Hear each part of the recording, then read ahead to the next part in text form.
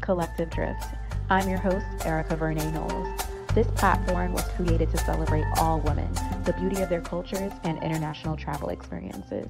Welcome to Collective Drift. These animals in their natural habitat, it was just like extraordinary seeing the elephants kind of fighting each other. And we had some wildebeests following our Jeep right? Like they wanted to ram the Jeep, seeing the hippopotamus in their element. It just was amazing. It was amazing. We, a couple of times we got to get off the Jeep and we were like in the middle of zebras racing, right? But they went past us. I mean, it just was out of this world extraordinary. And I really hope that one day I get to go back. This is we went to Antigua mm-hmm. and it was so beautiful. And definitely saw the similarities of Peru and Guatemala as far as the clothing and the colors. Right. But also the differences. So much culture in that little town. Right. I mean, everything looks from the 1800s. Mm-hmm. Nothing has moved. And it's so beautiful to see. Like you're stepping into this magical mm-hmm. place wow. as soon as you arrive. It's amazing. Like I contemplated moving there.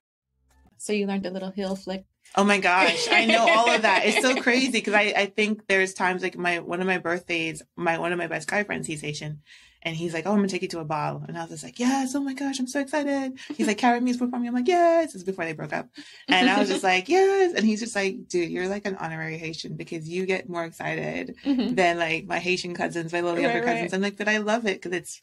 Familiar and it's mm-hmm. part of my coming of age time. Right. So I, I just love all of that. I just.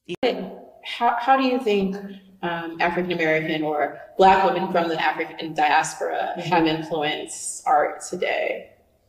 Um, I mean, I think it's a it's huge influence, but it, we're definitely underrepresented. You know, when you, if you look at most popular artists, you know, our the African American generation, you don't see a lot of African American women. There are there are a lot, you know what I mean? But I feel like the men, like a lot of industries, mm-hmm. still kind of dominate that. Absolutely. But our stories are as rich, richer, you know, and it's even more of a, a different place. You know, they're talking about being a sister or being a wife or being a mother right. or dealing with society and how you're viewed and and men and how they're looking at you. So I think some of that vocabulary comes out in the work.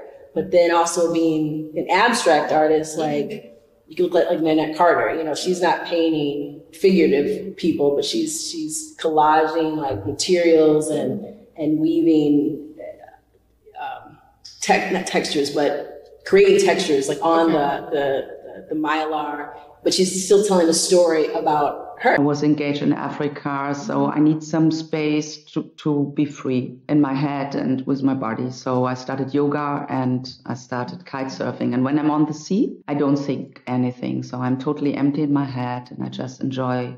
So is it being, like a meditation? Yes, it is. It is, but the only because the only thing you are concentrated is uh, the wind and your technique to move on and not to collapse because it's really it's a risky it's a risky sport. when did you start kitesurfing? So seven years ago. So my daughter, um, when I told her I start kitesurfing, she said, "Oh, mom, you are too old. It's a risk sport, so you can't do it."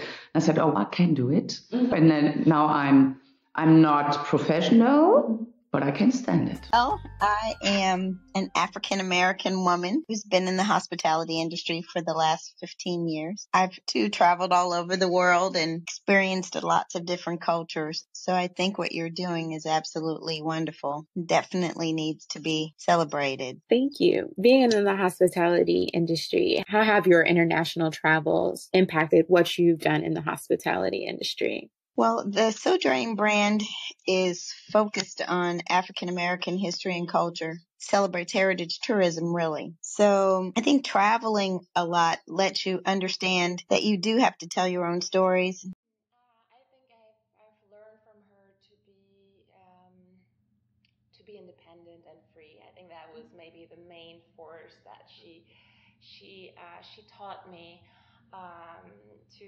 also always follow my heart. Mm-hmm. I didn't know what that meant. So what does that mean? Um, it literally means to follow your heart. But when I when I was when I was younger student, I I felt both of my parents were way too too free, too cool with me. Mm-hmm. I wanted stricter parents. me too. this is crazy. and they trusted in me, and they always said, mm-hmm. whatever choices you make. Um, follow your heart and it's going to be the right decision. I didn't understand really. I said, no, but I should do this and that. Mm-hmm. And uh, I mean, I should, follow, yeah, yeah, and structure for career. And, and I think by following your heart, it means to uh, trust your passions, right. trust what you like and love, and mm-hmm. what you believe in. Okay. And once you have found this and you trust yourself, you're able to go that direction.